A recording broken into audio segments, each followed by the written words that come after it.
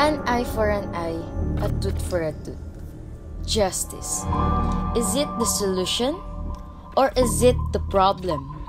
Is it the right of the people to judge? Criminals.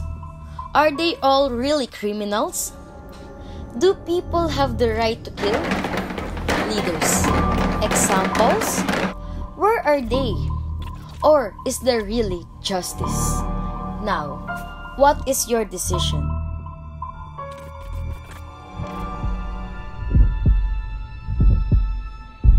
No death penalty.